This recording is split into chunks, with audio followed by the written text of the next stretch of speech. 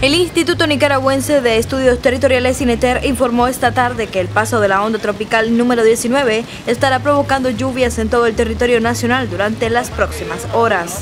El meteorólogo de turno del INETER, Julio Porta, afirmó que la onda tropical ha incrementado las probabilidades de lluvia para este día, dado que en horas de la mañana generó abundantes precipitaciones en la región del Caribe Sur y en horas de la tarde se incrementó la nubosidad, afectando a la región central y norte del país.